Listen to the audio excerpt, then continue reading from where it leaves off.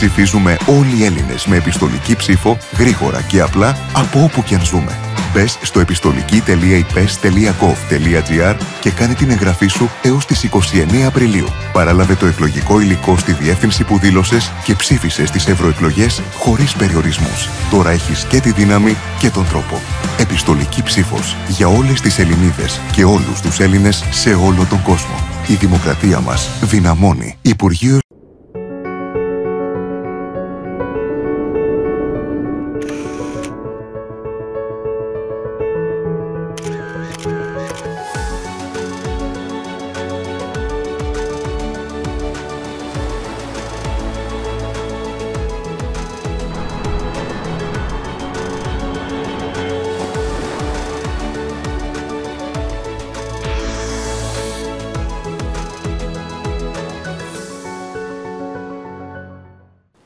Αγαπημένες φίλες και φίλοι της Ομογένειας, καλώς ήρθατε στην εκπομπή Ελλάδα στο Φως. Μείνετε συντονισμένοι εδώ στο Greek Voice, γιατί έχουμε να σας παρουσιάσουμε ένα σπουδαίο Έλληνα καλλιτέχνη, ένα σπουδαίο ηθοποιό που τον έχει λατρέψει όλο το ελληνικό κοινό. Εδώ και 40 χρόνια έχει μία μακρά θητεία και έχει επηρεάσει το στάτους του θεάτρου αλλά και τα ελληνικά δρόμενα. Είναι πολύ αγαπητός από τις τηλεοπτικές επιτυχίες που έχει κάνει.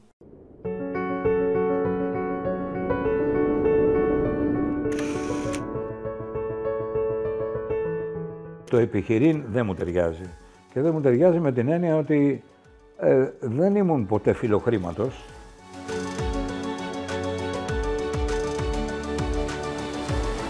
Δεν σκουπίζω τα πόδια μου σε ρόλους οι οποίοι περάσανε από μένα.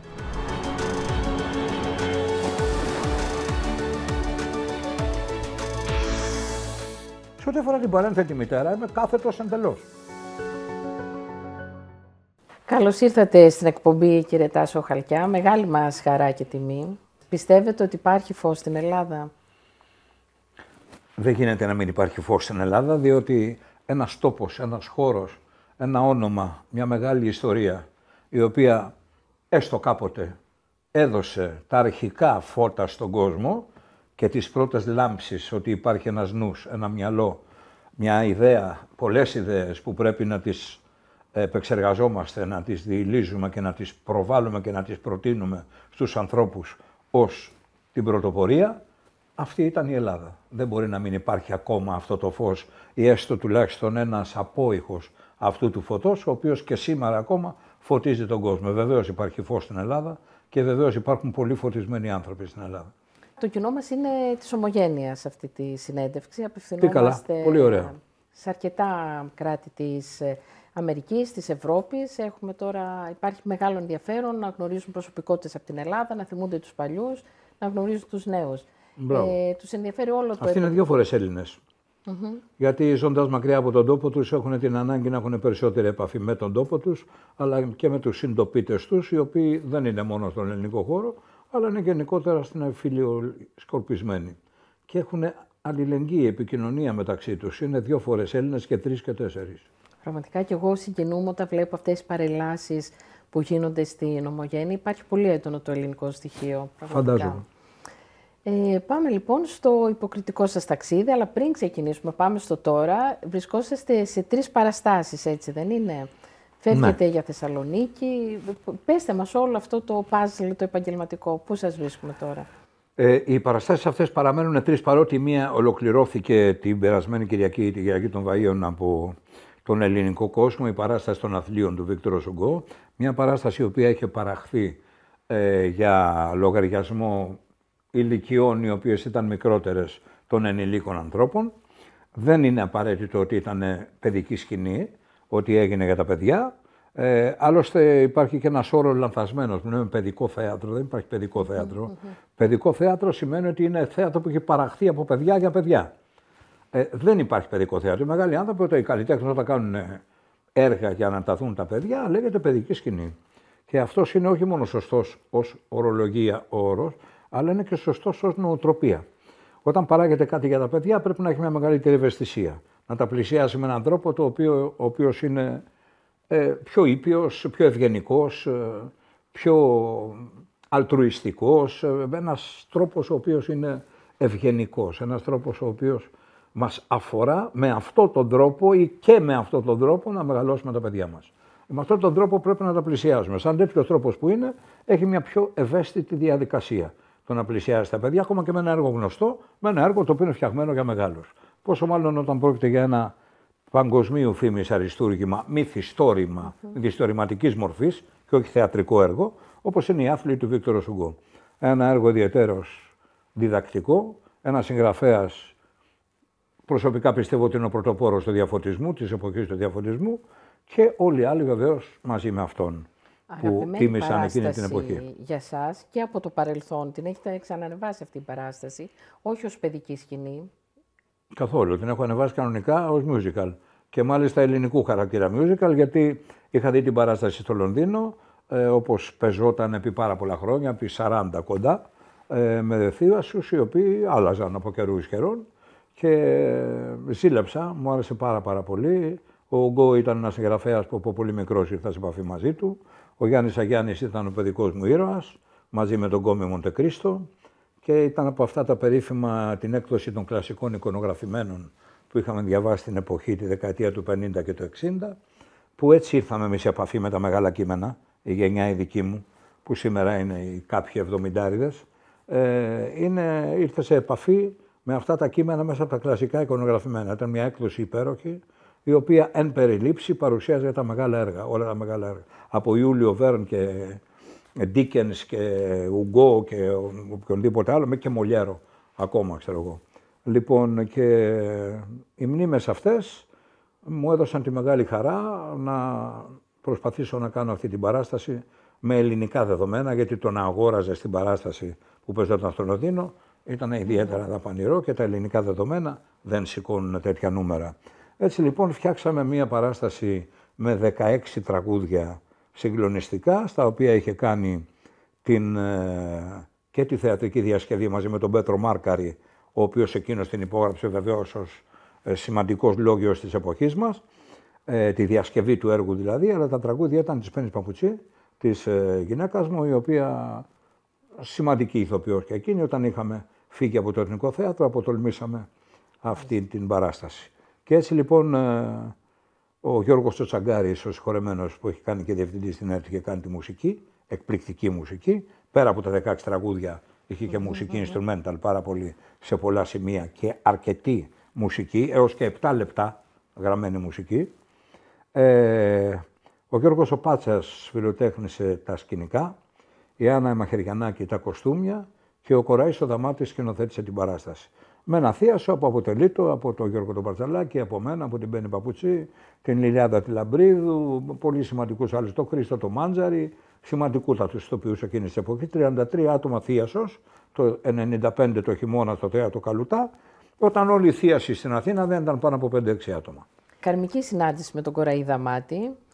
Έχετε συνεργαστεί και. Ε, αυτή ήταν η δεύτερη σημαντική συνάντηση. Η πρώτη μου ήταν με το Εθνικό Θέατρο, όταν ο Κοραής σκηνοθέτησε για πρώτη φορά εκτός της δικής του ομάδας του 7ου Θεάτρου, το οποίο κεντρίζει ο ίδιος, και σκηνοθέτησε για πρώτη φορά στο Εθνικό Θέατρο. Μάλιστα τη δολοφονία του Μαράτου Πετερβάη. Αυτή ήταν η πρώτη μας επικοινωνία και δώσαμε ένα στίγμα μιας γενιάς mm-hmm. διαφορετικής. Και ο πρώτος πρωταγωνιστικός ρόλος ήταν για εσά τότε; Για μένα ήταν ο πρώτος, ναι. ναι. Ω πρωταγωνιστής, πρωταγωνιστής ήταν ο πρώτος ρόλος και δεν θα ξεχάσω ποτέ τη συνεργασία μου με τον πολύ σημαντικό ηθοποιό που ίσως η ιστορία δεν τον καταγράψει έτσι, αλλά κατά τη δική μου γνώμη ήταν πολύ σπουδαίος, σημαντικός και όχι μόνο κατά τη δική μου, μαθητής του Κουν, ο Γιώργος Τσιτσόπουλος, ο οποίος ε, επομίστη το ρόλο του Σαντ και ήταν εκπληκτικός και δεν θα ξεχάσω ποτέ αυτή τη συνεργασία.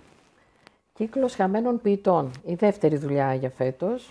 Ε, ναι, ε, εντάξει, η δεύτερη δεν είναι αριθμητικά η πρώτη-δεύτερη. Είναι η δουλειά η οποία πεζόταν για δεύτερη χρονιά, γιατί ήταν μεγάλη επιτυχία της περσινής σεζόν, ε, σε ένα έργο το οποίο ως θέατρο δεν το είχαμε ιδιαίτερα γνωστό στον τόπο μας. Δηλαδή ήταν η πρώτη φορά που ανέβαινε θεατρικά. Ξέραμε την ταινία με προγραμματιστή τον Ρόμπιν Βίλιαμς. Όμως ο ίδιος συγγραφέας που έκανε το σενάριο της ταινίας είναι ο ίδιος ο οποίος έγραψε και το θεατρικό έργο με έναν πιο πλήρη λόγο, δεδομένου το θέατρο είναι περισσότερο λόγος και λιγότερο εικόνα. Λοιπόν, ε, σε σχέση με το σινεμά βέβαια, τον κινηματογράφο.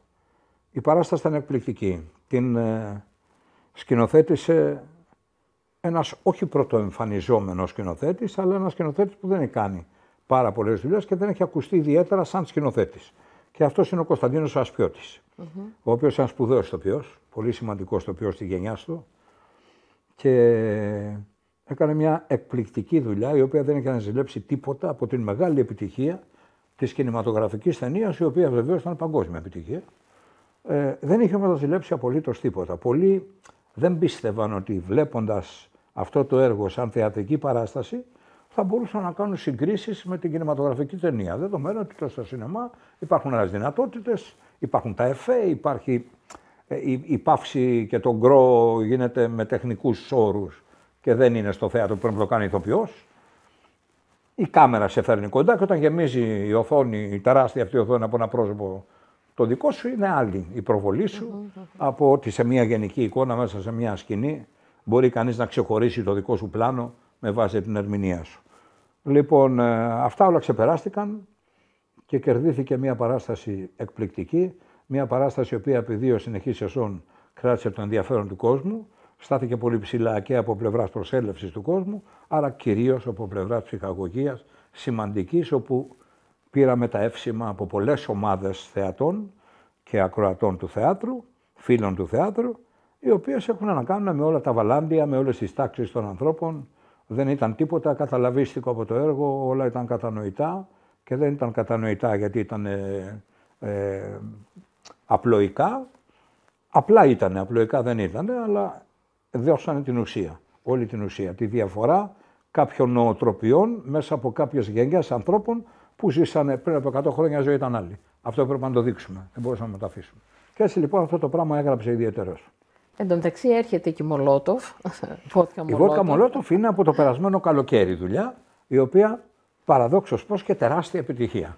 Η βότκα Μολότοφ ε, βασίζεται σε κάποια κείμενα του Τσέχοφ, διηγήματα του Τσέχοφ, τα οποία ο Νίλ Σάιμον ερωτεύτηκε και αποφάσισε να τα κάνει μικρά θεατρικά έργα. Δηλαδή μικρά μονόπρακτα. Ε, θα έλεγε κανείς ότι ήταν μικρές ιστορίες που τους διηγείται ο Σάιμον θεατρικά. Δηλαδή με τα πρόσωπα να μιλούν διαζώσεις και να δείχνουν τις καταστάσεις μέσα από θεατρική ε, κατάσταση. Έτσι λοιπόν έχουμε με μικρά σκέτς να κάνουμε από διάφορα ευτράπελα ή και όχι μόνο ευτράπελα αλλά και σοβαρά ζητήματα της ζωής ο έχω τα καυτηριάζει με το δικό του υπέροχο τρόπο. Όμως έχουμε και μια διασκευή πάνω στην μετάφραση διασκευή του Σάιμον από την Ελένη Ράντου, η οποία έφερε στα καθημάς πολύ περισσότερο τη ιστορία του Τσέχοφ, μέσα από του Σάιμον κάποια κείμενα, αλλά και μέσα από δικά της κείμενα. Που εκείνη την ίδια ιδέα του Σάιμον την ενστανίστηκε μεν, αλλά δεν τη δανείστηκε απολύτως και αποκλειστικά από εκείνον. Αλλά έκανε και δικό της έργο πάνω σε αυτό. Έτσι λοιπόν έχουμε και κείμενα του Σάιμον και κείμενα της Ελένης Ράντου, τα οποία είναι και τα περισσότερα, και η Ελένη έδωσε και το γενικότερο τίτλο Βότκα Μολότοφ, ο οποίος είναι πολύ πικάντικος, θεωρώ, και πολύ ιδιαίτερος για τα ελληνικά δεδομένα. Έχει μέσα και τη βότκα, η οποία μπορεί να είναι από ευχαρίστηση έως ξεφάντωμα, αλλά έχει μέσα και την έκρηξη. Και μόνο ο τίτλος σε προδιαθέτει.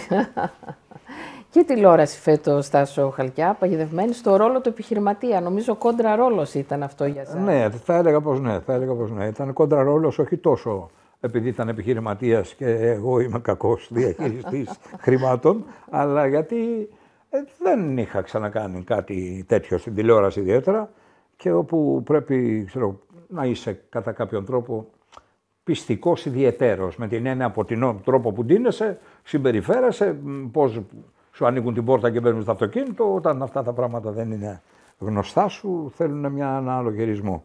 Ε, ήταν μια παρουσία μου στην πετυχημένη σειρά Επαγγελευμένη, ε, όπου κράτησα αρκετά επεισόδια και έχει ακόμα έναν απόϊχο παρουσίας προς τα τελευταία επεισόδια, όταν θα έρχεται το τέλος της σειράς. Ε, είμαι πάρα πολύ ευχαριστημένος από αυτή τη συνεργασία. Ξαναβρέθηκα μαζί με τον Γιάννη τον Λαπατά, έναν σκηνοθέτη τον οποίο εγώ αυτόν τον όρο του δίνω και έτσι τον χαρακτηρίζω, όχι σκηνοθέτη της τηλεόρασης ή του θεάτρου ιδιαίτερος κτλ. Ένα σκηνοθέτη, όπως είναι ο Γιάννης Λαπατάς. Αλλά και με νεότερους σκηνοθέτες, ε, τους δύο ανθρώπους οι οποίοι μοιράστηκαν τη δουλειά μαζί του. Και η εμπειρία μου αυτή ήταν πάρα πολύ σημαντική κοντά σε συναδέλφους και νέους και παλαιότερους, με τους οποίους συναντηθήκαμε τηλεοπτικά σε μια πάρα πολύ ευχάριστη κατάσταση, γιατί όταν υπάρχει επιτυχία στην τηλεοπτική σειρά, ξέρεις ότι ο κόσμος σε βλέπει και σε χαίρεται, ε, αυτό είναι η απολαβή σου. Και Ε. πέρασα πάρα πολύ όμορφα. Πολύ χαίρομαι. Πιστεύετε τελικά, μάλλον σε εσάς δεν σας ταιριάζει να συνδυάσετε το επιχειρηματικό και το καλλιτεχνικό; Όχι, εγώ δεν το ξανακάνω αυτό. Όχι, εγώ το έκανα δύο φορές και το επιχειρήν δεν μου ταιριάζει. Και δεν μου ταιριάζει με την έννοια ότι ε, δεν ήμουν ποτέ φιλοχρήματος και η μεγάλη απόδειξη για μένα ότι λέω την αλήθεια σε αυτό είναι ότι οι λεφτά περάσαν από τα χέρια μου. Υ- Υπήρξε μια εποχή στο επάγγελμά μου όπου πληρώθηκα καλά. Πληρώθηκα καλά και για αρκετό καιρό. Δηλαδή θα μπορούσα να έχω κάποια χρήματα στην άκρη που λέει ο λόγος. Όμως εγώ ήμουν ανήσυχος άνθρωπος, δεν κράταγα τα λεφτά για να τα κάνω ταξίδια ή όχι, που θα ήταν πάρα πολύ καλό, γιατί όχι. Μακάρι, κάλυψα τις ανάγκες της οικογένειάς μου, πως τη μεγάλωνα από τη μια και από την άλλη τα έβαζα συνέχεια στη δουλειά. Ήθελα να παίξω κάτι εγώ, έπαιρνα ένα θέατρο, όπως πήρα κατά καιρούς στο θέατρο Σταθμός, ε, έκανα συμπαραγωγή τους άθλιους με τον ε, αείμνηστο και αξέχαστο ε, επιχειρηματία του θεάτρου Καλωτά, το Θάνατο Μαρτίνο. Ε, συνεπιχείρησα και εκεί πέρα, με τελευταίο απ' όλα και περιοδίες δικές μου είχα κάνει με- σαν παραγωγός εγώ. Ε, πολύ πετυχημένη, μία από αυτές ήταν η- το «Μπαμπάδες Βερούμε» με τον Γιώργο τον Παρταλάκη που ήμασταν μαζί. Ε, και τελευταία μου απόπειρα ήταν η δραματική μου σχολή, η πρώτη πράξη, την οποία επιχείρησα μετά από 40 τόσα χρόνια, όπου το όνειρό μου όταν βγήκα στο θέατρο ήταν πραγματικά να φτιάξω μια σχολή ανάλογη της σχολής που τέλειωσα εγώ, του Εθνικού Θεάτρου δηλαδή, για να δω και να αφουγκράζομαι και να καταλάβω τους νέους ανθρώπους τι οράματα, τι σκέφτονται για το θέατρο, που θέλουν να πάει το θέατρο, εάν εγώ εξακολουθώ να έχω κάποια επικοινωνία μαζί τους, αν μπορώ κάτι να τους περάσω από τα δικά μου διδάγματα και αν μπορώ τέλος πάντων να επικοινωνώ με τους νέους ανθρώπους του θεάτρου, βλέποντας πού οδηγούνται εκείνοι και πού θα οδηγήσουν, γιατί σε αυτούς, σε αυτό αυτόν τα χέρια θα πέσει το θέατρο κάποια στιγμή, των νεότερων γενιών, πού θα οδηγήσουν το θέατρο. Αν το θέατρο θα εξακολουθήσει να έχει το ενδιαφέρον που έχει για την ανθρώπινη ζωή. Με, εμ, είναι πολύ ενδιαφέρον αυτό που λέτε, ο- ότι δίνετε προβάδισμα στους νέους, συνεργαζόσαστε με το νέο αίμα, δηλαδή ε, είναι πολύ σημαντικό και σε μια δύσκολη εποχή και για το θέατρο και για τους επαγγελματίες, αλλά και Πολύ. για τους νέους που προσπαθούν και ουσιαστικά δεν μπορούν να έχουν ως κύρια δουλειά το θέατρο ή τι- το επάγγελμα του ηθοποιού, έτσι δεν είναι; Δυστυχώς πολλοί όχι. Πολλοί δεν καταφέρουν να την έχουν ως κυρία δουλειά παρότι είναι το μεράκι και η αγάπη τους. Ε, κάποια στιγμή συναντιόνται πάρα πολύ. Όπου είναι αντιστρόφως ανάλογη η προσφορά και η ζήτηση. Όταν συμβαίνει αυτό, τα πράγματα δεν είναι ιδιαίτερω ποιοτικά. Ε, είναι ιδιαίτερω καταναλώσιμα. Ε, είναι ιδιαίτερω στηρίζονται στην επικαιρική διάσταση της οποιασδήποτε δουλειάς. Πόσο επίκαιρη μπορεί να είναι και από τώρα να αρπάξει, ας πούμε, ξέρω εγώ, για να πάμε καλά. Ε, βγήκανε στο θέατρο πάρα πολλοί επιχειρηματίες, θεατρική παραγωγή, οι οποίοι δεν ήξεραν τη δουλειά και δεν ήθελαν και να τη μάθουν τη δουλειά. Θέλαν απλώς να οικονομήσουν λεφτά από το θέατρο. Μα θησαυρίζουν η θεατρική παραγωγή στο θέατρο, έχουν θησαυρίσει. Αυτό μείωσε την ποιότητα. Γιατί οι άνθρωποι δεν ξέρανε. Α, Συνεργαστήκανε με ανθρώπους που νομίζαν ότι αυτοί είναι οι φίρμε και αυτοί θα τα φέρουν και τα λοιπά και τα ρέστα. Και έτσι λοιπόν το θέατρο κάπου στράβωσε. Ε, μέσα σε εκείνα τα πλαίσια ήταν και η όρεξη δική μου να ξεκινήσω τη δραματική σχολή. ε, γιατί εντάξει, ένιωθα ότι κάτι δεν πήγαινε καλά και αν μπορούσα να βάλω ένα κλαράκι μικρό στη φωλίτσα του χελιδονιού να γίνει σωστή, γιατί τέλος πάντων είχε αρχίσει να ξεφεύγει, από αυτό η παρορμητικότητά μου με όθησε στο να ξεκινήσω τη σχολή τότε.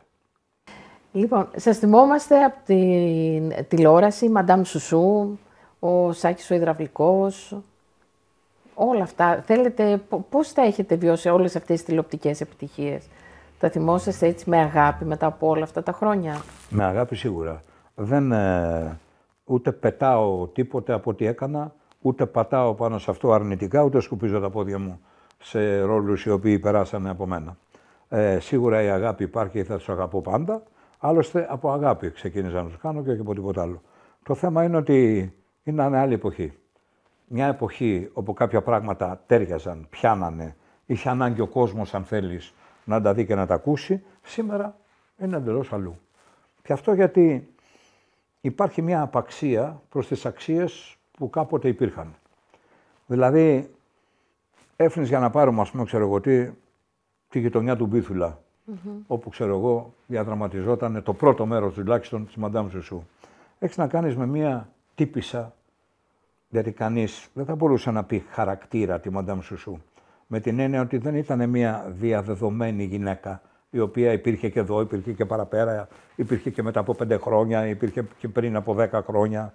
Δεν ήταν πολύ μια ιδιαίτερη περίπτωση και νομίζω ότι και η πρόθεση του αείμνηστου Δημήτρη Ψαθά ήταν να δείξει ότι όταν ανέβαινε η μεσοαστική τάξη στην Ελλάδα, τότε τσιμπήσανε πολλές γυναίκες και πολλές κυρίες οι οποίες είχαν το μικρόβιο μέσα τους στο να, της μεγαλομανίας, τέλος πάντων, και επειδή η, μεσομεσαία, η μεσαία τάξη έδινε την ευχέρεια να ξεφύγεις με έναν καλύτερο μισθό και να μπορέσεις να ζήσεις σε ένα καλύτερο σπίτι, σε μια καλύτερη γειτονιά, να πάρεις και εσύ ένα αυτοκίνητο ή να πάρεις και ίσως μια βαρκούλα ή ένα εξοχικό σπιτάκι κτλ. Ότι αυτό έκανε τη διαφορά της ζωής. Πάρα πολύ ωραία το έπιασε ο Ψαθάς και σατήρισε αυτή την κατάσταση μέσα σε αυτή τη συγκεκριμένη γυναίκα. Αυτή η συγκεκριμένη γυναίκα μοιραία και δίπλα της και συγκεκριμένους ανθρώπους. Δεν μπορούσε να είναι μόνη της. Πώς το λένε, μια μύχα μέσα στο γάλα, ε, κάποιος θα την κάνει έτσι, θα την πετάξει. Όταν όμως υπάρχουν και τρει-τέσσερι ακόμα, λέει άφησε εκεί να κολυμπήσουν. Τέλος πάντων έτσι ας πούμε ήταν το πράγμα. Οπότε είχε και μια παρέα δίπλα της αυτή. Είχε έναν άντρα που τη στήριζε. Ρε στη λέει, ρε σου, σου είσαι τρελή, αλλά σε αγαπάω, δεν μπορώ να σε αφήσω. Παρ' όλα αυτά του έφυγε. Γιατί ήταν μεγαλομανής και κάποια στιγμή που πήρε μια περιουσία όλος εκτύχης που δεν την περίμενα από πουθενά, είπε τώρα δεν έχω ανάγκη κανέναν. Παναγετάκι σε χωρίζω γιατί δεν μου κάνεις, είσαι ψαρά στον πίθουλα. Εσύ, Ζόρζ Κομωτή, τράβα από εκεί που ήρθες και καλά μου έκανες την κουαφίρ μου τέλος πάντων όταν σε είχα ανάγκη, αλλά τώρα μπορώ να πληρώσω την καλύτερη κομμότρια του κολονακίου, γιατί αυτός ήταν ο καημός της, να πάει στο τότε κολονάκι. Υπήρχε μια εποχή που όλα αυτά τα, δεν τα επέβαλε, αλλά μπορούσε να τα δεχτείς μέσα από αυτή την εποχή. Η εποχή που έγινε το λαψόρι με το σάκι. Ήταν μια εποχή που ο άντρας ακόμα ε, είχε μια διαφορά από τη γυναίκα ως προς τι. Δεν μιλάω για την ισότητα των δύο φίλων, προς Θεού αυτή πρέπει de facto να είναι η ίδια και όταν τουλάχιστον είναι στην παραγωγή και οι δυο ως εργαζόμενοι, σαφώς πρέπει να έχουν τα ίδια δικαιώματα και δεν το συζητώ. Αλλά ο άντρας μοιραία ήταν ο άνθρωπος ο οποίος έξω από το σπίτι πολέμαγε για τη ζωή και έφερνε στο σπίτι τα αγαθά. Έτσι ήταν η οικογένεια κάποτε. Δεν μπορούμε να το αλλάξουμε αυτό. Η ιστορία είναι αυτή. Αν δεν έπρεπε να είναι έτσι και σιγά σιγά το κάναμε να είναι αλλιώς, να εργάζονται και οι δύο, να ψάχνουμε να βρούμε λαντάκια το παιδί ή να επιστρατεύουμε τους γονείς μας. Τα... Τώρα η οικογένεια αρχίζει και χαλάει. Κάνεις εσύ τα παιδιά για να μεγαλώσει η μάνα σου. Δεν γίνεται.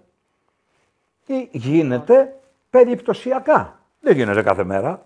Άρα μην κάνει παιδιά. Άμα δεν μπορεί να μεγαλώσει τα παιδιά, μην κάνει τα παιδιά. Ύστερα, σαν μάνα δεν σκυρτά. Περνάνε μια εβδομάδα που δεν είναι στο παιδί. Δεν τρέχει κάτι. Τότε αυτά τα πράγματα δεν ήταν έτσι. Ήταν αλλιώ. Άρα λοιπόν περνάγανε οι ιστορίε αυτέ. Ο Σάκη ήταν ένα άνθρωπο ιδιαίτερο αλτρουιστή. Άκουγε ότι κάποιο πέρναγε και έβλεπε ένα ζητή άλλο στον δρόμο, πήγαινε και του έλεγε: Τι, γιατί είσαι στον δρόμο τώρα. Πάρε κάτω στάρκα που κοιμηθεί και να φας, α πούμε. Και άμα θες κι άλλα, αύριο παίρνω από εκεί. Το, λέει, Πόσο... σήμερα μου το κάνεις αυτό, πει σιγά, ποιος είσαι και δεν ξέρω, θα, θα το χλεβάσουν.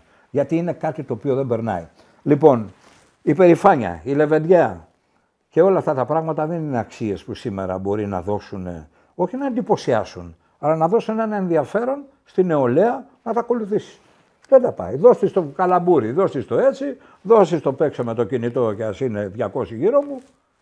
Πραγματικά έχουν άλλη εποχή. Άλλες εποχές. Εντάξει, εγώ δεν λέω καλύτερη ή χειρότερη. Αυτό θα το γράψει η ιστορία κάποτε. Αλλά είναι άλλη εποχή. Άρα άλλα περνάγανε εκείνη την εποχή και γίνανε εκείνες οι δουλειές που γίνανε και άλλα περνάνε αυτή την εποχή και γίνονται οι δουλειές που γίνονται.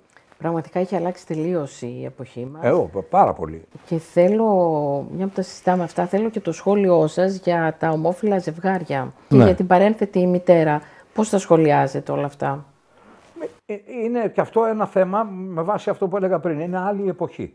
Δηλαδή, ε, θα κάνω το εξής σχόλιο καταρχήν. Κάποτε το να έλεγες ελεύθερα ότι είσαι γκέι, κάποιοι μπορεί να τσιτώνονταν, τελικά το αποδέχονταν, γινόταν και λίγο καλαμπούρια ο Φίφης, αν θυμάσαι και τις ελληνικές ταινίες που περνάνε από όλα αυτά. Ο Σταύρος ο Παράβας, ο συγχωρεμένος έδιαξε διάφορους τέτοιους τύπους και άλλοι ε, συνάδελφοι, ξέρω εγώ που ε, παίξανε, ξέρω εγώ, τις, ε, τις αδερφούλες, αυτές, πώς τις λένε, όπως κάτσανε και έκαναν το πάντων, γιατί είναι οι όροι αυτοί σήμερα δεν στέκουνε. Και κανείς θα πει τι λέει αυτός ο σεξιστής. Λοιπόν, δεν, ήταν, δεν ήμασταν σεξιστές όταν τα λέγαμε αυτά.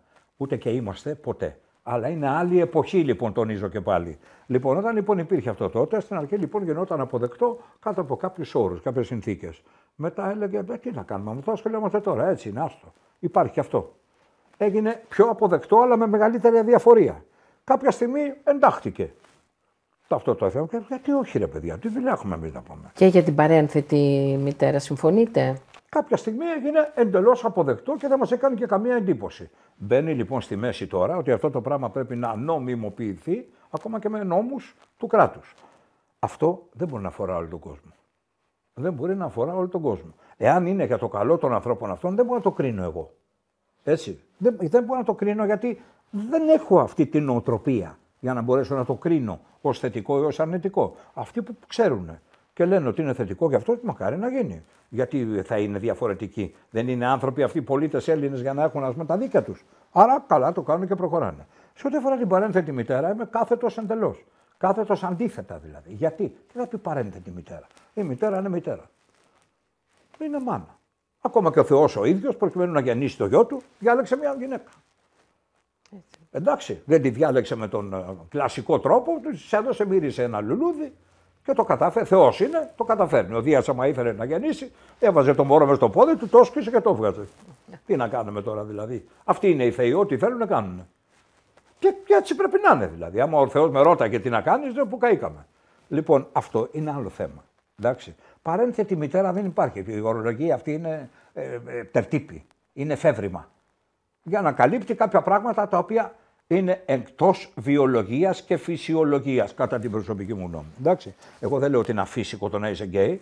Μια χαρά φυσιολογικό είναι. Η παρένθετη μα τι θες. Γιατί πρέπει να κάνεις παιδιά. Πολύ ωραία, βγαίνουν και διάφοροι γκέι και λένε διάφορα πράγματα, ας πούμε.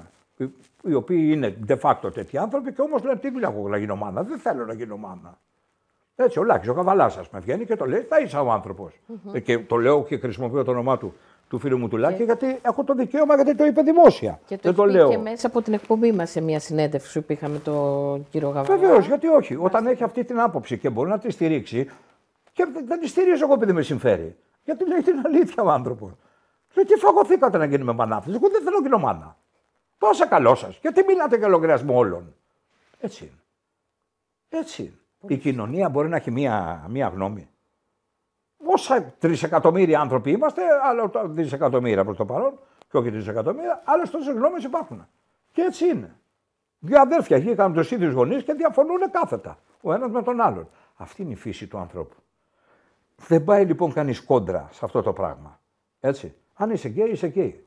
Η σεξουαλική σου επιλογή, η οποία γίνεται και μάλιστα σε μια ηλικία ώριμη ενήλικος, με γεια σου με χαρά σου. Δεν μπερδεύεται κανείς εκεί. Θες να παντρευτείτε γιατί είναι ζήτημα, ας το πούμε, ξέρω εγώ τι, νομικό, γιατί να μην μπορώ να αφήσω τα υπάρχοντά μου εκεί που αγαπάω και πρέπει να μου τα φάει ο κακός μου ξάδερφος, επειδή είναι, ας το πούμε, ξέρω εγώ, συμφωνώ, απόλυτα. Ναι. Θέλετε, ας πούμε, να προχωρήσετε σε κάποιες υιοθεσίες. Ίσως και αυτό να μπορούσε κάποια στιγμή πραγματικά να γίνει, όχι κατανοητό, κατανοητό είναι, να γίνει πραγματικότητα. Η παρένθετη μητέρα τι δουλειά έχει; Καμία. Απολύτως καμία. Γιατί, για να έχεις ότι γέννησες. Για να κανονικά. Ξέρω πάρα πολλούς γκέι που είναι οικογενειάρχες και έχουν κάνει παιδιά ίδια. Παιδιά ίδια. Πάρα πολλούς. Γιατί, κάντο έτσι. Κάντο έτσι θα πει παρένθετη μητέρα. Αυτές είναι ορολογίες, δεν θέλω να τις ονομάσω. Ουσιαστικά εργαλειοποιείται η γυναίκα και παράγει παιδιά ως μηχανή αν προχωρήσουν όλα αυτά θα έλεγα εγώ. Κύριε Χαλκιά, αλλάζουν όμως πολύ τα η πράγματα. Η γυναίκα έχει τους απόλυτους τρόπους για να ικανοποιηθεί. Δεν χρειάζεται ιδιαιτερότητες. Ακριβώς. Κύριε Χαλκιά, αλλάζουν πολύ τα πράγματα και στην κοινωνία μας και στην Ελλάδα και παγκόσμια. Εσείς ανησυχείτε, είναι κάτι που σας τρομοκρατεί. Για να οργανωθούν οι κοινωνίες των ανθρώπων ή μερικοί άνθρωποι σε κοινωνική διάταξη ενάντια σε κάτι το οποίο πιστεύουν ότι θα κάνει κακό στο μέλλον τη ανθρωπότητα, Αυτά να τα ξεχάσουμε. Δεν υπάρχουν πια. Κανείς δεν μπορεί να κινήσει τις μάζες πλέον είτε κόμμα είσαι, είτε μεγάλος πολιτικός και μεγάλος ρήτορας είσαι, κανείς δεν έχει τη δύναμη να κινήσει πέντε ανθρώπους μαζί. Όχι 25, πέντε. Δεν την έχει κανένας. Γιατί οι πέντε έχουν διαφορετική γνώμη και νεύμα. Να πάμε, να πάμε στην οδό Ερμούνε, να πάμε μέσω πανεπιστημίου. Ωραία, από τα δύο είναι πιο σύντομα. Όχι, να πάμε από την Ακαδημίας. Ποιος θα συμφωνήσει, Κανένας. Κανένας. Για να πάμε από εδώ εκεί. Λοιπόν, ποιος θα κινήσει τις μάζες για να γίνει αγώνας; Κανένας. Άρα λοιπόν δεν υπάρχει αγώνας. Υπάρχει προσωπική αγωνία του καθενός. Άλλος την εκφράζει φανερά, άλλος την εκφράζει τον καφενέ, άλλος την εκφράζει στο σπίτι του μέσα και το πολύ πολύ με τον κολλητό του. Τίποτα άλλο δεν μπορεί να γίνει. Πάμε να αλλάξουμε κουβέντα, μας πάρει από κάτω, γιατί είναι λίγο ζωφερή η κατάσταση στην όχι, κοινωνία μας. Όταν διαμορφώνεται μια πραγματικότητα, δεν είναι για να μας πάρει από κάτω. Είναι για να μας προβληματίσει. Όσοι τη προβληματίζεται, δίπλα μου ελθύν. Πολύ σωστά. Ε, δεν μπορεί να πεις τίποτα άλλο. Να μιλήσουμε λίγο για τα μελλοντικά σας σχέδια. Είναι όλες αυτές οι παραστάσεις που τρέχουμε. Έχετε κάτι special να μας παρουσιάσετε, να μας πείτε; Ε, γίνεται και μια προετοιμασία ενός καινούργιου έργου, η οποία πρόκειται να αποτελέσει το δεύτερο μέρος της καλοκαιρινής σεζόν και φιλοδοξεί να πάει τόσο καλά που να αποτελέσει και το πρώτο μέρος της επόμενης χειμερινής σεζόν στο θέατρο του ελληνικού κόσμου. Αυτό είναι το έργο της Δήμητρας Παπαδοπούλου, ο παππούς έχει πίεση. Λοιπόν, είναι μια κομμωδία ξέφρενη, με τη σφραγίδα της Δήμητρας Παπαδοπούλου και αυτή την απίστευτη ροή στοιχημαρόδη που έχει όταν γράφει, ε, που στιγματίζει πάρα πολλά πράγματα κατά την άποψή μου κοινωνικού χαρακτήρα και κοινωνικών φαινομένων, τα οποία μπορεί να είναι και πρωτόγνωρα. Ας, έστω αν στις μέρες μας κάθε μέρα γίνεται και κάτι πρωτόγνωρο, πάντα υπάρχει ένα ενδιαφέρον θα γίνει την επόμενη μέρα, έτσι, που δεν έχει ξημερώσει ακόμα. Λοιπόν, η Δήμητρα έχει αυτό το χάρισμα, να μπορεί να σε ξαφνιάζει να μπορεί ανοίγοντας κάποιος το στόμα του να περιμένεις, Α, τώρα που ξέρουμε τι θα πει αυτός, και να πει κάτι που όχι μόνο δεν το ξέρεις, δεν το περίμενε κιόλα με τίποτα. Λοιπόν, αυτός ο τρόπος της γραφής της, ο οποίος τρόπος είναι ένας, μια έκπληξη που διαδέχεται την άλλη, είναι ένα ξάφνιασμα που διαδέχεται το άλλο, είναι ένα σκοτσέζι κοντούς από το κρύο στο ζεστό που ποτέ δεν, το δεν τον συμφέρει κανένα να το δέχεται, αλλά το δεχόμαστε πάρα πολύ όλοι μας, μη δονό εξαιρουμένου. Εκτός αν δεν θέλουμε να το σκεπτόμαστε ότι λέγεται έτσι. Άλλο είναι αυτό το θέμα. Και αυτή η γραφή της Δήμητρας είναι ιδιαίτερα πικάντικη και ιδιαίτερα επίκαιρη. Αρέσει πάρα πολύ στον κόσμο, ιδιαίτερα στην νεολαία. Ε, το έργο αυτό έχει μέσα του αυτά τα στοιχεία. Ο παππούς έχει πίεση.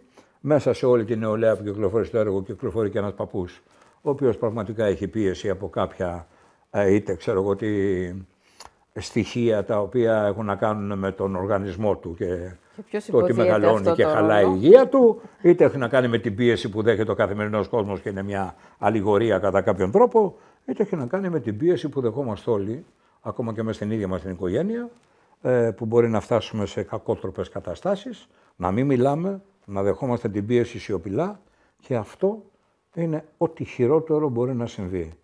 Όταν σταματήσει ο άνθρωπος να διαμαρτύρεται για αυτό που δέχεται και το οποίο ο ίδιος χαρακτηρίζει αρνητικό, γιατί αν είναι θετικό, το αφήνεις και το δέχεσαι, γιατί παίρνεις κάτι καλό από αυτό. Αν όμως είναι αρνητικό, δεν διαμαρτύρεσαι, το αφήνεις, το δέχεσαι, ακόμα και την πληγή που σου ανοίγει, δεν την περιποίησε, την αφήνεις να τρέχει, τα πράγματα δεν πάνε καλά.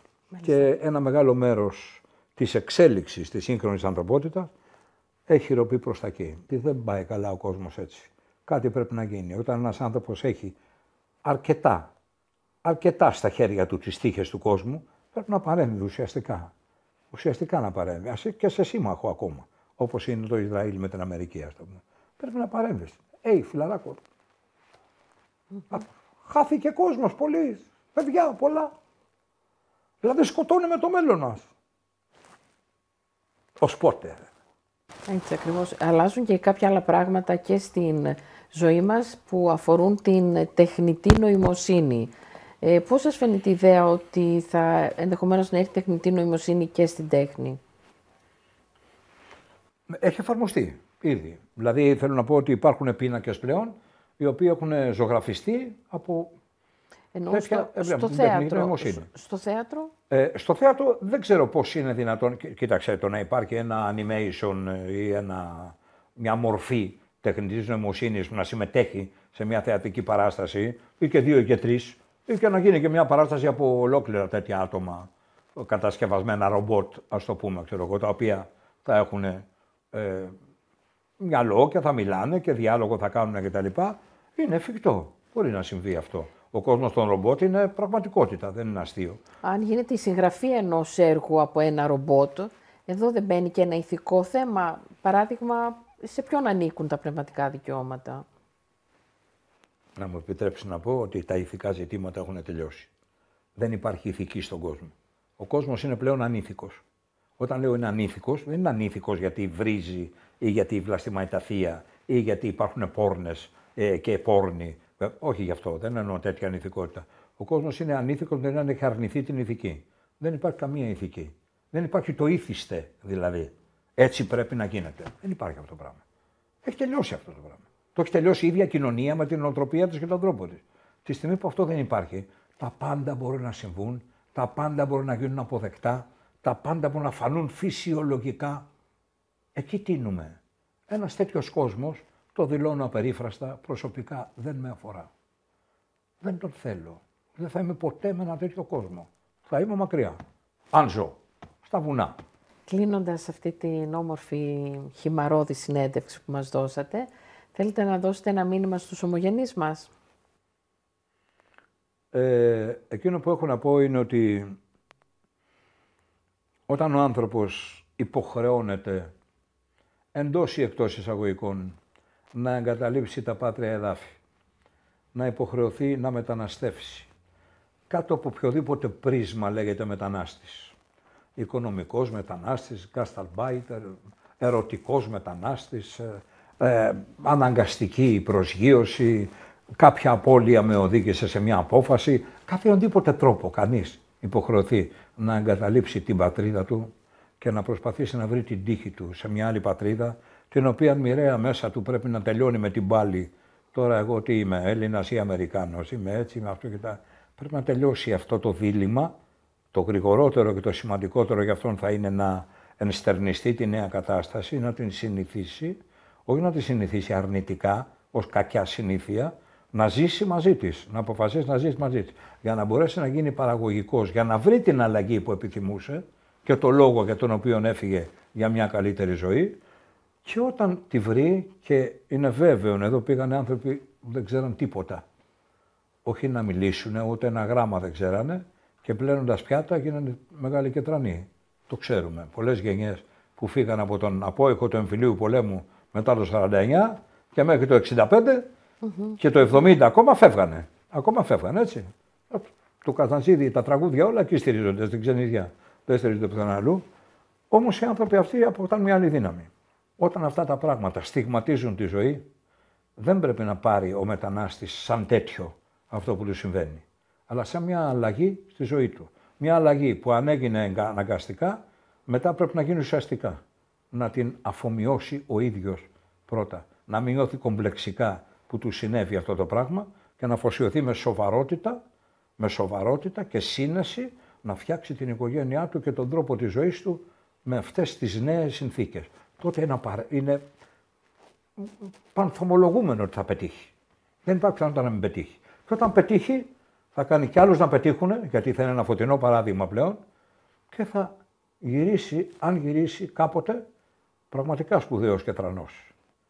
Και λέγοντας μία κουβέντα θα είναι μεγάλη αυτή η κουβέντα, σπουδαία. Έστω και μία κουβέντα μόνο. Αν μπορεί να κάνει και άλλα ευεργετήματα για τον τόπο του, ακόμα καλύτερα.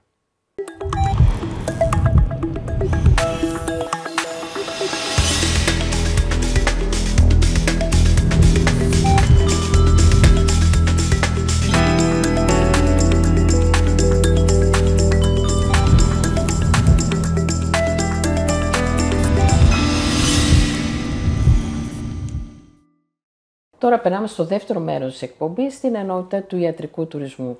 Βρισκόμαστε εδώ σε ένα διεθνές, αναγνωρισμένο και πιστοποιημένο κέντρο εξωσωματικής. Μάλιστα ήταν το πρώτο κέντρο εξωσωματικής, το οποίο λειτουργήσε εδώ στην Ελλάδα το 1984. Ο κύριος ε, Νικόλαος Δημητρούλης ήταν ο ιδρυτής και ακολούθησε τα χνάρια του πατέρα και ο Κωνσταντίνος Δημητρούλης. Βρισκόμαστε λοιπόν εδώ σε αυτό το κέντρο και θα μας δώσει μία συνέντευξη εφόλης της ύλης, ο κύριος Κωνσταντίνος Δημητρούλης και θα απαντήσει σε όλα σας τα ερωτήματα. Καλώς ήρθατε στην εκπομπή Ελλάδα στο Φως, κύριε Δημητρούλη. Μεγάλη μας χαρά και τιμή. Δικιά μου είναι η τιμή. Σας ευχαριστώ πολύ για την πρόσκληση. Χαιρετίζω και εγώ τους φίλους Ελληνοαμερικάνους, όπως και εγώ είμαι ένας Ελληνοαμερικάνος, που ο πατέρας μου γύρισε στην Ελλάδα, έκανε αυτό το κέντρο και έτσι το συνεχίζω εγώ σήμερα. Και είναι χαρά μου να μπορέσω να δώσω πληροφορίες και να ενημερώσουμε σωστά τους ανθρώπους που ζουν εκεί σχετικά με την υπογονιμότητα. Να πούμε πριν ξεκινήσουμε τις ερωτήσεις μας ότι είστε μια διεθνής προσωπικότητα, ότι επικοινωνείτε μέσα από τη διεθνή τηλεόραση, την παγκόσμια, αλλά και μέσα από άρθρα σας, είτε επιστημονικά paper, είτε δημοσιογραφικά και ενημερώνετε διεθνώς τον κόσμο που τους απασχολεί το θέμα της εξωσωματικής γονιμοποίησης η τεκνοποίηση είναι κάτι βασικό για ένα ζευγάρι. Είναι αυτό που αγαπάμε εμείς εδώ στο κέντρο μας, είναι να βοηθάμε τα ζευγάρια που δυστυχώς ταλαιπωρούνται να τεκνοποιήσουν. Διεθνώς είμαστε αναγνωρισμένοι σαν ένα κέντρο εντελώς προσωπικό, γιατί ασχολούμαστε προσωπικά με το ζευγάρι. Είμαστε στη θέση ότι είναι ένα κέντρο το οποίο είναι το κέντρο για το ζευγάρι. Όχι για την ασθενή, η γυναίκα ή ο άντρας που έχει ένα πρόβλημα υπογονιμότητας δεν είναι άρρωστος. Απλώς δυσκολεύεται να πετύχει αυτό το σκοπό και είμαστε δίπλα τους, χέρι με χέρι, να φτάσουμε σε αυτό το πιο αγαπητό πράγμα που είναι να κάνουμε ένα παιδί υγιή. Έχουμε ακούσει πολλές ιστορίες σχετικά με την εξωσωματική γονιμοποίηση. Έχουμε ακούσει για γυναίκες τυχερές, για γυναίκες άτυχες, για πολλές ε, προσπάθειες. Υπάρχουν και μύθοι και αλήθειες. Τελικά ποια είναι η πραγματικότητα εδώ στην Ελλάδα; η πραγματικότητα είναι ότι όλα αυτά που είπατε ισχύουν. Ναι. Ισχύει και οι τυχερές που κάνανε μία προσπάθεια και το πετύχανε. Ισχύουν και οι άτυχες οι οποίες έχουν κάνει 8 προσπάθειες και το πετυχαίνουμε με την ένατη. Δυστυχώς όμως πρέπει να αναλογιστούμε κάτι. Ότι η εξωσωματική και όχι μόνο η υποβοηθούμενη αναπαραγωγή δεν μπορεί να μας εγγυηθεί το αποτέλεσμα. Αυτό που μπορεί να μας εγγυηθεί είναι ότι αν φυσιολογικά έχουμε ένα χ ποσοστό, με την εξωσωματική αυτό το πολλαπλασιάζουμε κατά πολύ. Δυστυχώς, ξαναπώ τη λέξη δυστυχώς, θα υπάρχουν κάποια ζευγάρια που δεν θα καταφέρουν να τεκνοποιήσουν με την βοήθεια της υποβοηθούμενης αναπαραγωγής. Άρα εκεί μας μένει πια ή να αποφασίσουμε ότι δεν θα κάνουμε παιδί ή στην υιοθεσία. Εμάς όμως το μότο του κέντρου και οι έρευνες που γίνονται είναι να φτάσουμε στην εποχή όπου δεν θα υπάρχει άτεκνο ζευγάρι. Πριν δεκαετίες το ποσοστό επιτυχίας έφτανε το 15%. Σήμερα μπορούμε να πούμε με βεβαιότητα ότι φτάνουμε και το 60% επιτυχίας.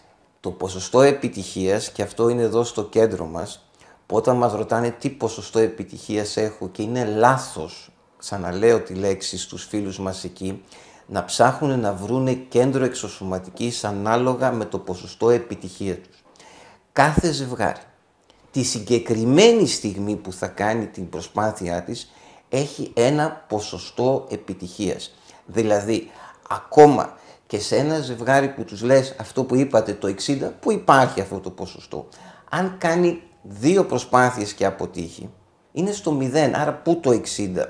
Όταν πεις σε ένα ζευγάρι ότι έχεις 10% επιτυχία και κάνει την πρώτη προσπάθεια και πετύχει, του λες καλά τι μου έλεγες 10, το πιάσα 100% το ποσοστό είναι κάτι το σχετικό.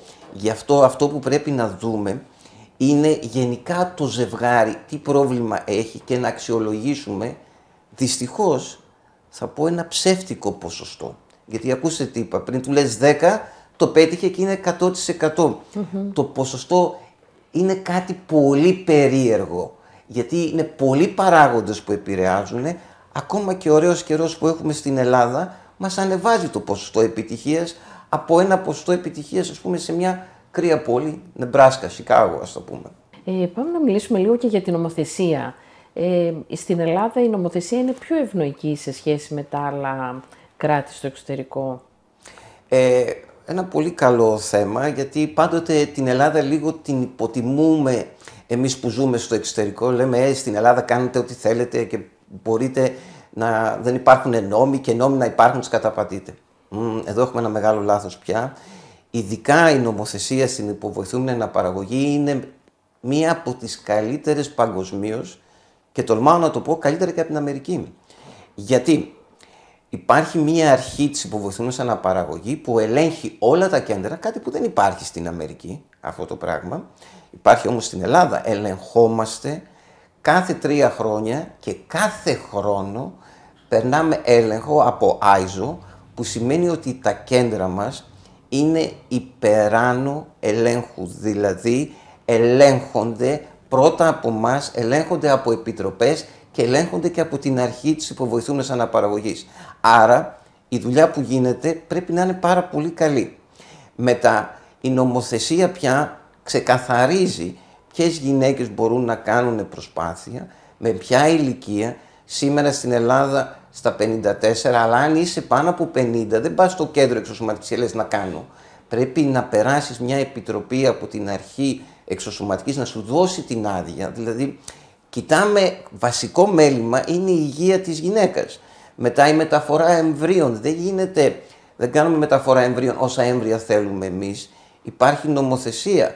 Στην Αμερική έχεις το δικαίωμα να μεταφέρεις όσο έμβρια θέλεις. Εκεί έχουμε σοβαρό θέμα με πολύδημε κοίησει και το οικονομικό ε, βάρος στο κράτος είναι τεράστια με τα πρόωρα παιδιά και αυτό και τώρα βλέπεις και στην Αμερική αρχίζουν να βάζουν λιγότερο αριθμό εμβρίων. Αλλά η νομοθεσία στην Ελλάδα είναι πολύ δυνατή, προστατεύει τους ασθενείς και να είναι σίγουροι ότι η Ελλάδα είναι μια χώρα του νόμου στην υποβοηθούμενη αναπαραγωγή. Το όριο για τις γυναίκες είναι μέχρι τα 54 έτη; Το όριο αυξήθηκε προσφάτως από την αρχή με νομοθεσία στα 54, δηλαδή μια γυναίκα μπορεί να τεκνοποιήσει μέχρι τα 54. Βεβαίως όμως, όταν είναι 50 ετών και μιας ημέρας, θα πρέπει να ζητήσουμε την άδεια από την αρχή για να προχωρήσουμε στην προσπάθεια της εξωσωματικής και τι χρειάζεται; Χρειάζεται να φτιάξουμε ένα φάκελο μέσα από το κέντρο και να κάνουμε την αίτηση έχοντας δύο βασικούς γιατρούς που είναι ο καρδιολόγος, ότι η γυναίκα αυτή είναι υγιέστατη, δεν πάσχει από κάποιο νόσημα που οποίος να την επηρεάσει να μείνει έγκυος, άρα βλέπετε ότι στην Ελλάδα σκεφτόμαστε προληπτικά. Δεν είναι να αφήσουμε μια γυναίκα έγκυος και μετά να έχει ένα πρόβλημα είτε με την καρδιά της είτε με το αιμοποιητικό της και τι γνωρίζουμε ότι μια γυναίκα που μένει έγκυος είναι με το ένα πόδι στον τάφο. Όμως το δεύτερο δεν το βάζει γιατί σήμερα υπάρχουν τα νοσοκομεία και οι σωστοί γιατροί. Άρα κάνουμε πρόληψη, χρειαζόμαστε, τι λένε πολλοί που είναι λάθος και εδώ πριν που είπατε μύθος ή αλήθεια, ότι τα φάρμακα της εξωσωματικής ή εξωσωματική προκαλεί καρκίνο, είναι ένας μύθος. Χρειάζεται όμως αυτή η γυναίκα να δει και έναν μαστολόγο, έχοντας κάνει μαστογραφία, ότι μπορεί να προχωρήσει σε εξωσωματική γονιμοποίηση, ότι δεν έχει κάποιο πρόβλημα με το μαστό της. Εφόσον έχουμε τη βεβαίωση του μαστολόγου και του καρδιολόγου, πρόληψη πάλι, καταθέτουμε τα χαρτιά και η γυναίκα αυτή μπορεί να ακολουθήσει το πρόγραμμα της εξωσωματικής και στα 51 μέχρι τα 54. Κύριε Δημητρούλη, αν φτάσετε σε αδιέξοδο λόγω και υπογονιμότητας ε, του άντρα, ο νόμος στην Ελλάδα επιτρέπει τη δωρεά σπέρματος και κάτω από ποιες προϋποθέσεις; Ο άντρας είναι πολύ πιο τυχερός γιατί η, γυναίκα έχει αρχή και τέλος στην τεκνοποίηση. Ο άντρας έχει αρχή και θάνατο. Δηλαδή η γυναίκα βλέπει περίοδο που μπορεί να αρχίσει να τεκνοποιήσει, μπαίνει στην εμνόπαυση, σταματάει. Ενώ ο άντρας κάθε τρεις μήνες παράγει καινούργια σπερματοζωάρια. Άρα μπορεί να τεκνοποιήσει μέχρι και την τελευταία μέρα του θανάτου του. Η εξωσωματική σήμερα και ιδιαίτερα η μέθοδος της μικρογονιμοποίησης, δηλαδή να πάρουμε το κατάλληλο σπερματοζωάριο και να το εγχύσουμε μέσα στο οάριο και να έχουμε γονιμοποίηση, έχει σώσει τους άντρες με βαριά ολίγο ασθενοσπερμία, δηλαδή χαμηλό αριθμό, χαμηλή κινητικότητα, αυξημένη κακή μορφολογία σπέρματος. Αυτή η μέθοδο έχει σώσει τους άντρες και έχουμε επιτυχίες κιόλας παίρνοντας σπερματίδες, δηλαδή τα αρχαίγωνα κύτταρα των σπερματοζωρίων από τους όρχες που λέγεται βιοψία όρχεων και έχουμε επιτυχίες με αυτόν τον τρόπο. Άρα ένας άντρας να φτάσει στη δωρεά σπέρματος πρέπει να περάσει αποτυχημένα όλα αυτά τα στάδια και στο τέλος πια λες ότι ναι πρέπει να πας με δωρεά σπέρματος. Δηλαδή ακόμα και σε μια πλήρη αζωσπερμία τι σημαίνει ότι το σπερματικό υγρό που βγαίνει δεν έχει καθόλου σπερματοζωάρια βλέποντας μετά από τη βιοψία ότι και εκεί δεν υπάρχει κάτι, ναι, τότε καταλήγει στη δωρεά σπέρματος. Η δωρεά σπέρματος καλύπτεται νομικά, υπάρχουν τράπεζες σπέρματος στην Ελλάδα, αλλά και συνεργαζόμαστε και με άλλες του εξωτερικού, που διαλέγει το ζευγάρι, το τονίζω αυτό, το ζευγάρι δεν το διαλέγει το σπέρμα μόνος του ο άντρας. Η όλη διαδικασία πρέπει να καταλάβουμε είναι σαν το ταγκό. Δεν είναι το ωραίο ζεμπέκικο το δικό μας, σηκώνουμε μόνος μου και το χορεύω. Χορεύουμε ταγκό. Ο άντρας με τη γυναίκα μαζί, αγκαλιά, θα δούνε και θα διαλέξουν τον κατάλληλο δότη που πει ότι είναι η ομάδα αίματος, τα χαρακτηριστικά του. Μην κοιτάμε τη μόρφωση, μην κοιτάμε το βάρος του ή το ύψος του. Όταν είχαν ερωτήσει τον πατέρα μου που το 1974 είχε κάνει την πρώτη τράπεζα σπέρματος στην Ελλάδα, το 1990 στην Καλιφόρνια έγινε μια τράπεζα σπέρματος από νομπελίστες και λέγανε να πάρει σπέρμα από νομπελίστα και τον ρωτήσανε δηλαδή άμα πάρεις σπέρμα από νομπελίστα θα γίνει και το παιδί μας νομπελίστας; Και βέβαια όχι γιατί η μόρφωση του παιδιού εξαρτάται από την οικογένεια και θέλω να δώσω ένα μήνυμα στις γυναίκες που μας ακούνε ότι ο χαρακτήρας του παιδιού ξεκινάει από την πρώτη μέρα που μένει έγκυος η γυναίκα. Και αυτό δεν το λέμε εμείς σήμερα οι ψυχολόγοι και οι επιστήμονες, το λέγανε οι αρχαίοι Έλληνες. Άμα θέλεις να κάνεις ένα όμορφο και έξυπνο παιδί, να κοιτάς ωραία αγάλματα, δηλαδή εφορία στη γυναίκα εκείνη τη στιγμή, να σκέφτεσαι θετικά και τίποτα αρνητικά. Άρα η δημιουργία του ανθρώπου και μετά στην εκπαίδευση, πώς θα το εκπαιδεύσεις. Όταν σήμερα όλα τα παιδιά είναι στα tablets και δεν είναι στο βιβλίο και δεν ασχολείσαι με το να κάτσεις να διαβάσεις αλλά να βλέπεις εικόνες, το, το μορφωτικό επίπεδο έχει πέσει. Άρα και σπέρμα νομπελίστα να πάρεις, νομπελίστα δεν θα κάνεις.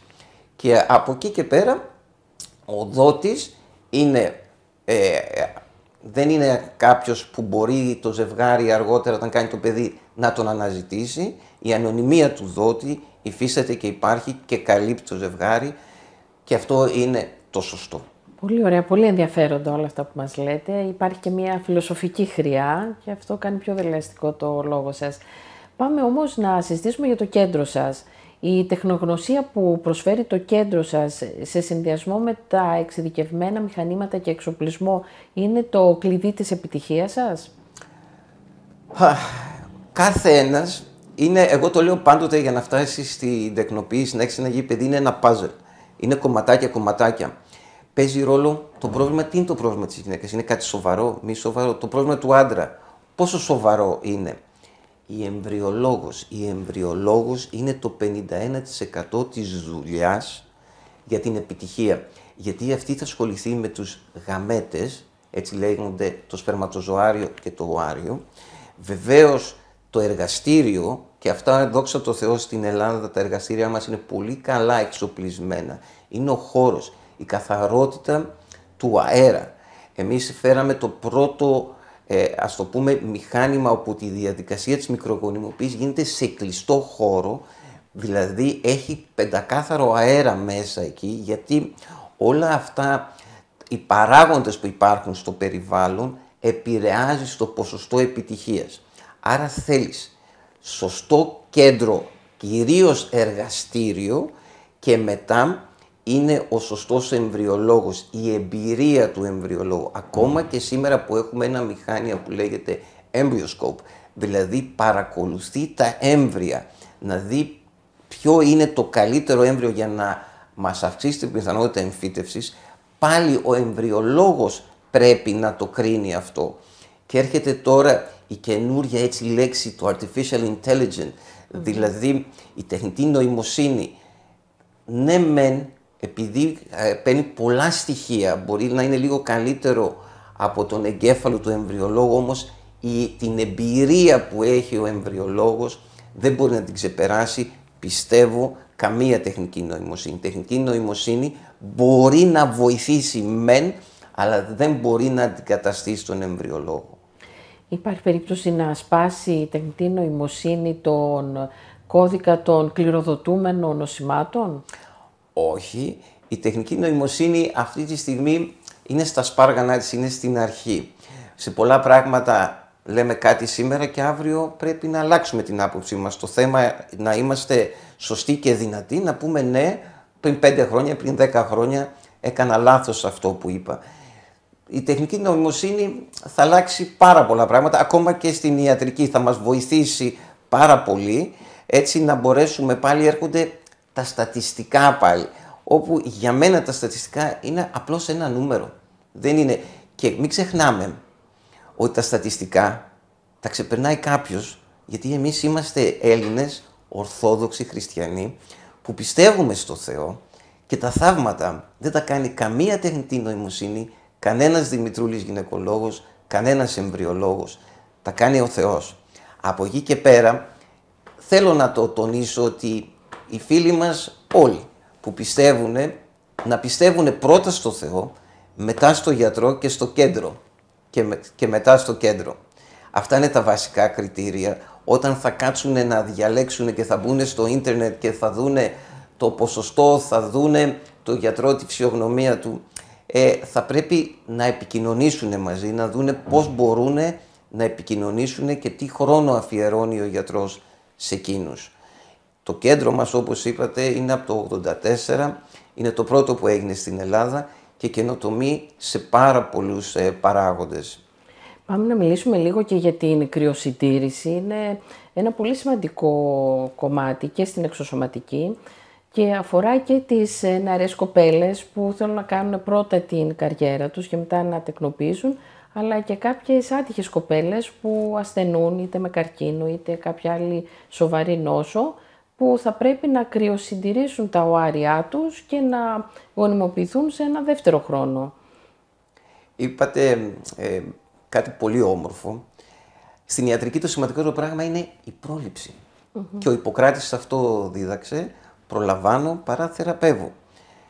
Στατιστικά, πάλι τα στατιστικά, σε μία γυναίκα που έχει κρυοφυλάξει τα οάρια της σε ηλικία κάτω των 35 και έχει 15 καλά οάρια, τονίζω το καλά γιατί όλα τα οάρια που δίνει η γυναίκα δεν είναι καλής ποιότητας.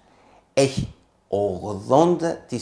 80% πιθανότητα να τεκνοποιήσει όποτε εκείνη θέλει, εφόσον δεν υπάρχει κάποιο πρόβλημα στη μήτρα, γιατί μην ξεχνάμε, έχουμε τον καρπό, που είναι το άριο και το σπερματοζωάριο, αλλά θέλουμε και το χωράφι, είναι η μήτρα. Γιατί αν η μήτρα δεν είναι καλή, το χωράφι δεν είναι γόνιμο, δεν μπορεί ο καρπός να, ε, να, να γίνει αύριο το σιτάρι ή οτιδήποτε άλλο. Λοιπόν, ε, από εκεί και κάτω είμαστε πολύ τυχεροί σήμερα που έχουμε τη μέθοδο της ιαλοποίησης ή το λεγόμενο vitrification, γιατί παλιά υπήρχε μια άλλη μέθοδος που δεν μας έδινε τόσο καλά αποτελέσματα. Σήμερα φτάνουμε σχεδόν το 90 με 95% των ποσοστό των οαρίων που αποψύχουμε να είναι βιώσιμα και να μπορέσουμε να κάνουμε μια γονιμοποίηση. Γυναίκες, όπως είπατε πολύ ωραία, που υπάρχει κάποιος καρκίνος επιβάλλεται να κάνουν κρυοφύλαξη. Γυναίκες που σκέφτονται περισσότερο την καριέρα τους, δεν βρίσκουν κάποια σχέση, είναι πολύ σωστό. Και όσο νωρίτερα το κάνουν, τόσο καλύτερα. Συγγνώμη, θα κάνω τώρα λίγο το δημοσιογράφο, δηλαδή γιατρέ, στα 18, όχι τόσο νωρίς.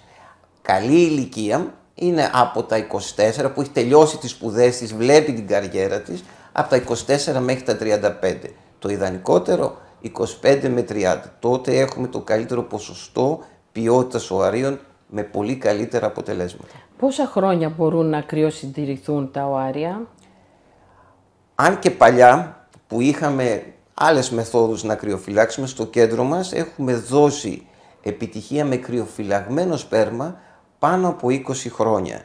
Τα οάρια μπορούν να καταψυχθούν εφόσον διατηρούνται σωστά σε περιβάλλον που είναι μείον 196 βαθμούς υγροάζωτο όσο εκείνες θέλουν.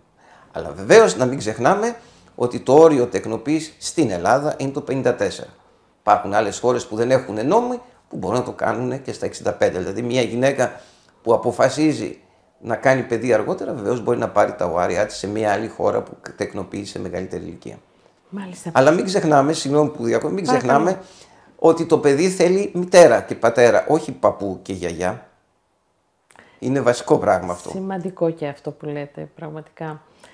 Πάμε να μιλήσουμε λίγο για το κέντρο σας. Ε, πέρα από τον κατάλληλο εξοπλισμό που έχει, ε, απαρτίζεται από εμβριολόγους, από... θέλετε να μας μιλήσετε για το εξειδικευμένο προσωπικό που έχετε; Και μια υποερώτηση, αν δεχόσαστε περιστατικά και από το εξωτερικό, ακόμα και τους μήνες των διακοπών.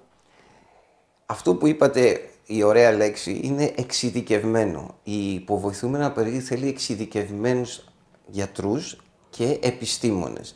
Δηλαδή, οι γυναικολόγοι που ασχολούνται με την υποβοηθούμενα παραγωγή έχουν εξειδικευτεί σε αυτό το κομμάτι, δεν μπορούν να ασχολούνται με κάτι άλλο. Και γι' αυτό όταν ένα ζευγάρι είναι υπογόνιμο πρέπει να δει οπωσδήποτε ένα εξειδικευμένο γιατρό στην υποβοηθούμενη αναπαραγωγή. Γιατί βλέπουμε ζευγάρια να έρχονται σε μια προχωρημένη ηλικία που πηγαίνανε σε μια ηλικία των 35 και τους έλεγε ο γιατρός «Α, δεν έχεις πρόβλημα, δεν έχεις πρόβλημα, δεν έχεις πρόβλημα». Έφτασε στα 40 και τώρα δεν έχει μόνο πρόβλημα, έχει και την ηλικία της που είναι ένα πολύ μεγάλο πρόβλημα. Είναι λίγο άκομψο να μιλάμε για τις γυναίκες σήμερα που βλέπεις μια γυναίκα 50 χρονών και σου μοιάζει 25 αλλά και αισθάνεται 20 όμως η ηλικία της γυναίκας στη γονιμότητα παίζει πολύ μεγάλο ρόλο. Δυστυχώς όταν μιλάμε για ηλικία μιλάμε για ηλικία οθικών, όχι ηλικία εμφάνισης. Γι' αυτό πρέπει να το σκέφτονται σοβαρά τα νέα κορίτσια σχετικά με την κρυοσυντήρηση οαρίων. Από εκεί και πέρα, από τον εξειδικευμένο γυναικολόγο, έχουμε τον ειδικό εμβριολόγο. Ο senior embryologist είναι αυτός που έχει την τεράστια εμπειρία να αξιολογήσει τόσο τα οάρια, τόσο τα σπερματοζωάρια, τι μέθοδο θα κάνει. Όπως και η προετοιμασία του σπέρματος έχει διάφορες μεθόδους που μπορείς να φτιάξεις ένα σπέρμα. Και μετά πώς θα αξιολογήσεις αυτά τα έμβρια στην εμβριομεταφορά, να έχουμε την διαλογή των σωστών εμβρίων και τα περίσσια έμβρια μπορούν να κρυοσυντηρηθούν. Έτσι σε μια αποτυχία η γυναίκα δεν ξαναμπαίνει στην όλη διαδικασία, είτε σε μια επιτυχία μετά η γυναίκα με τα κρυοσυντηρημένα έμβρια μπορεί να έρθει μετά από 3, 4, 5 χρόνια να χρησιμοποιήσει τα ίδια και να έχει και ένα δεύτερο παιδί με τη μία προσπάθεια. Η εξειδικευμένη ΜΕΑ, η οποία γνωρίζει το αντικείμενο, που στηρίζει τα ζευγάρια, εξειδικευμένη ψυχολόγος. Μία ψυχολόγος δεν μπορεί να δει το ίδιο μια γυναίκα που χωρίζει, έχει πρόβλημα με το παιδί της κτλ. Έχουμε εξειδικευμένη ψυχολόγο η οποία ασχολείται με την υπογονιμότητα. Η υπογονιμότητα δημιουργεί σοβαρά ψυχολογικά προβλήματα στο ζευγάρι και στη σχέση τους κιόλας. Και εκείνη είναι η γραμματέας μας, γνωρίζει πάρα πολύ καλά όλο το κόνσεπτ της υποβοηθούμενης αναπαραγωγής, έτσι ξέρει που είναι η πρώτη που θα σηκώσει το τηλέφωνο, να κατευθύνει τα ζευγάρια σωστά και δόξα τω Θεώ είμαστε μια εξειδικευμένη ομάδα για το καλύτερο των ζευγαριών που μας εμπιστεύονται. Είναι σημαντικό στο κέντρο που θα πας να το εμπιστευθείς. Αν δεν μπορείς να το εμπιστευθείς, ούτε το ποσοστό, ούτε το πιο φτηνό είναι αυτό που θα πρέπει να σε τραβήξει. Ήδη είναι πολύ οικονομικά τα κόστη εδώ στην Ελλάδα σε σχέση με την Αμερική, να το πούμε και αυτό. Και θα ήθελα να μας δώσετε ένα μήνυμα για τις γυναίκες που σκέφτονται να κάνουν εξωσωματική. Το ότι περισσότερα από 10 εκατομμύρια παιδιά ζουν και αναπνέουν ε, χάρη στην ε, τεχνητή γονιμοποίηση είναι ένα καλό μήνυμα για τις γυναίκες αυτές. Το οικονομικό κομμάτι για τους φίλους μας που μας ακούνε στην Αμερική είναι τεράστια η διαφορά γιατί δεν είναι μόνο, είπαμε, είναι και η ποιότητα που την ποιότητα την παίρνουν στην Ελλάδα 100% και είναι πολύ πιο οικονομικό. Δηλαδή, μία εξωσωματική χωρίς τα φάρμακα στην Αμερική είναι γύρω στα 12 με 15 δολάρια και πάλι παίζει ρόλο σε ποια πολιτεία, δηλαδή από πολιτεία σε πολιτεία η τιμή αλλάζει. Στην Ελλάδα η εξωσωματική κοστίζει 3,5 με 4.000 δολάρια. Από εκεί και πέρα άμα βάλεις τις διακοπές σου και το ταξίδι σου και αν το προγραμματίσεις νωρίτερα, μπορείς να κάνεις με τα ίδια λεφτά που κάνεις μία εξωσωματική στην Αμερική, να κάνεις δύο στην Ελλάδα. Και όχι μόνο την εξωσωματική, είναι μετά του ερπνού και ωφελή μου. Δηλαδή, κάνεις και τις διακοπές σου, περνάς και καλά. Θα μου επιτρέψετε να πω, επειδή λαμβάνουμε καθημερινά μηνύματα από τους ομογενείς μας σε θέματα που αφορούν στην τεχνική γονιμοποίηση, ε, τα κόστη είναι πολύ πιο ψηλά. Κάποιοι αναφέρονται σε 25.000 δολάρια, σε 30.000 δολάρια. Ε, όπως σας είπα ότι παίζει ρόλο πολιτεία με πολιτεία, είναι εκτός από την εξωσωματική, είναι και τα φάρμακα. Δηλαδή τα φάρμακα που χρειάζεται για να διαγείρεις οθήκες για να πάρεις περισσότερα οάρια, ε, στην Αμερική κοστίζουν από 4 μέχρι 8.000 δολάρια. Στην Ελλάδα 1.000 με 2.500 δολάρια. Μετά υπάρχουν και άλλες διάφοροι μέθοδοι όπως είναι όταν μια γυναίκα φτάσει σε μια προχωρημένη ηλικία ή έχει πρώιμη εμεινόπαυση και πρέπει να μπει σε ένα πρόγραμμα δανεικού οαρίου. Το πρόγραμμα δανεικού οαρίου στην Αμερική μιλάς για 30 και 60.000 δολάρια. Στην Ελλάδα μιλάς για 8, maximum 10.000 δολάρια. Δηλαδή φτάνει να είναι το 1 τρίτο με το 1 πέμπτο της τιμής. Και προσέξτε, αυτό που τονίζω πάντοτε, παίρνει, πόσο κοστίζει η εξωσωματική σας, δεν είναι το κόστος. Είναι η ποιότητα. Αυτό που μετράει είναι η ποιότητα. Στην Ελλάδα θα την έχουν την ποιότητα, αυτό είναι σίγουρο. Απλώς θα πρέπει να σκεφτούν τι θέλουν να κάνουν. Θέλουν να, να έρθουν στην Ελλάδα, να περάσουν καλά στον ωραίο ήλιο και στα νησιά μας και μαζί να φύγουν εγκυμονούσες ή να μας πάρουν τηλέφωνο και να πούμε γεννήσαμε. Έχουμε περιστατικά βοηθήσει στο Ιράν, στη Ιουγκοσλαβία, στην Αγγλία, στην Αμερική. Δόξα τω Θεώ, μας στέλνουν ευχετήριες κάρτες και μας ευχαριστούν. Όλα τα κέντρα εδώ στην Ελλάδα έχουν πολύ καλά ποσοστά επιτυχίας. Από εκεί και πέρα το ζευγάρι πια πρέπει να αποφασίσει να έρθει να κάνει τις διακοπές του και να πετύχει το σκοπό του, που είναι η τεκνοποίησή του. Κλείνοντας τη συνέντευξή μας, θα ήθελα να σας ρωτήσω ποιο είναι το μότο σας. Το μότο είναι όποιο ζευγάρι έρθει σε εμάς να καταφέρει να τεκνοποιήσει, να έχει ένα υγιή παιδί, αλλά βασικό είναι το μέλλον να φτάσουμε να μην υπάρχει υπογόνιμο ζευγάρι. Η επιστήμη να μας βοηθήσει να μην υπάρχει κανένα υπογόνιμο ζευγάρι. Όλα τα ζευγάρια να χαρούνε αυτό που λέμε μητρότητα και πατρότητα. Είναι κάτι θεϊκό και θα ήθελα να κλείσω αυτό που είπα πριν. Είναι κάτι θεϊκό να πιστεύουν στο Θεό, να μην απεσιοδοξούν, να μην αγχώνονται, να μην στεναχωριούνται. Να πιστεύουν και να προχωράνε. Σας ευχαριστώ πολύ.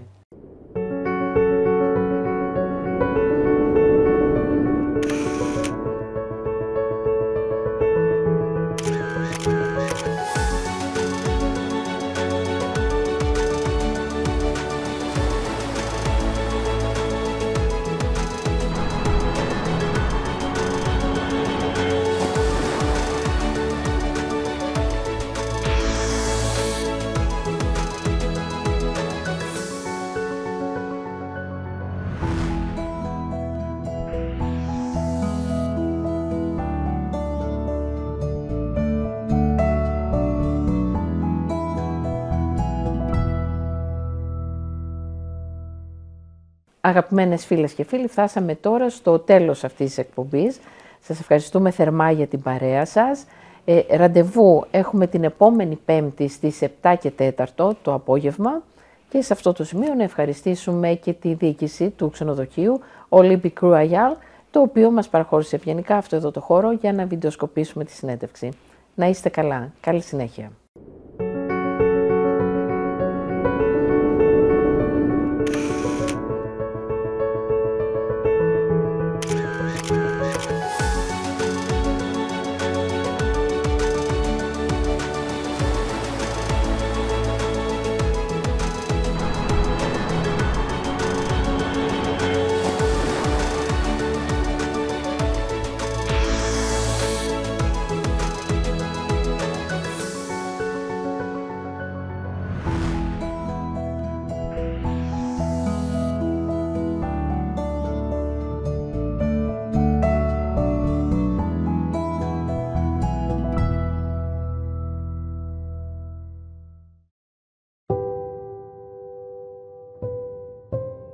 Πώς μου αρέσει ο τίτλος «Ελλάδα στο φως». Πιστεύετε ότι τελικά στην Ελλάδα υπάρχει φως; Να υπάρχει φως στην Ελλάδα και όποιος θέλει να το δει δεν θα το σκοτεινιάσει ποτέ. Αρνούμε να πιστεύω ότι δεν υπάρχει φως. Περνάμε δύσκολες εποχές, αλλά πάντα έχουμε ελπίδα για το αύριο, για ένα καλύτερο αύριο. Κατάλαβα ότι έχουμε ένα τεράστιο όπλο, που είναι ο πολιτισμός. Την αγάπη μου σε όλους τους ομογενείς, έχω πολύ ωραίες αναμνήσεις. Η περισσότερη ζωή μου ήταν με τους συναδέλφους μου. Αληθινές, Δεν μπορούσα να το πιστέψω. ανθρώπινες ιστορίες. Και του λέω, κύριε Χόρν, θέλω να γίνω ηθοποιός. Ο ηθοποιός δεν είναι ένα πλάσμα που το παίρνεις και λες θα κάνεις αυτό. Ιστορίες γεμάτες δράση και χιούμορ. Εγώ παίζω λίγο για τη φανέλα. παίζω για την ομάδα. Αυτή η ατάκα πώς βγήκε, πώς ε, προέκυψε; Από την καρδιά. Φωτεινές ιστορίες ανθρώπων που ονειρεύονται ακόμα. Πηγαίνοντας στο θέατρο άρχισα να ονειρεύομαι τον εαυτό μου να κάνει αυτό που έκαναν οι ηθοποιοί τότε. Ιστορίες από την Ελλάδα μας. Αυτό είναι η Ελλάδα, γεμάτη φως. Ελλάδα στο φως, κάθε πέμπτη στις 7 και 4 στο Greek Voice.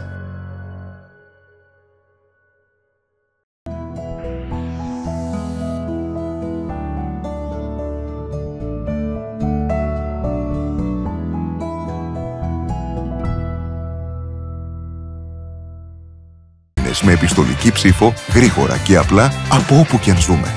Μπες στο επιστολική.ipes.gov.gr και κάνε την εγγραφή σου έως τις 29 Απριλίου. Παράλαβε το εκλογικό υλικό στη διεύθυνση που δήλωσες και ψήφισες στις ευρωεκλογές χωρίς περιορισμούς. Τώρα έχεις και τη δύναμη και τον τρόπο.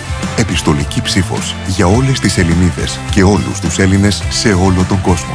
Η δημοκρατία μας δυναμώνει.